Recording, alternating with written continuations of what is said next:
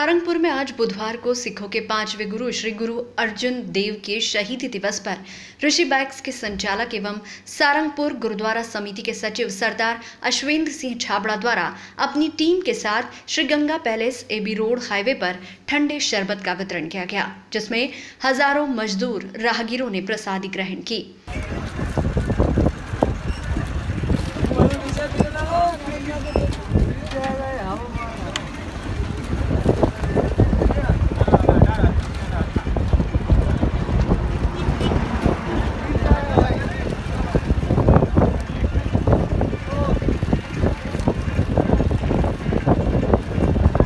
ऋषि bikes Hero की team में